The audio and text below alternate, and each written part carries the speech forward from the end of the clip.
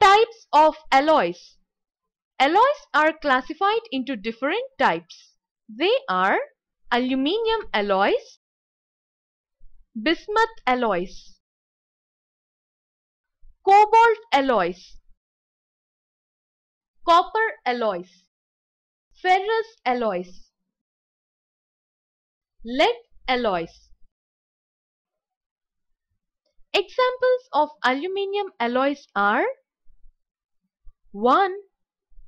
Alnico alloy which constitutes aluminium, copper, nickel metals. 2.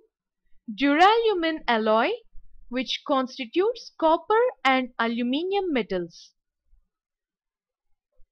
Bismuth alloys Rose metal alloy which constitutes bismuth, lead and tin metals.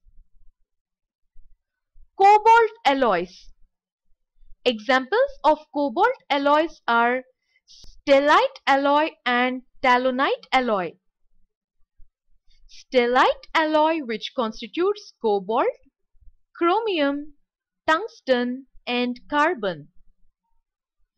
Talonite alloy which constitutes cobalt and chromium. Copper alloys Examples of copper alloys are brass and bronze. Brass alloy which constitutes copper and zinc metals. Bronze alloy which constitutes copper and tin metals. Ferrous alloys Example of ferrous alloys are steel, stainless steel, etc. Steel alloy consists of carbon metal. Stainless steel constitutes chromium and nickel metals. Lead alloys. An example of lead alloy is solder. Solder alloy constitutes lead and tin metals.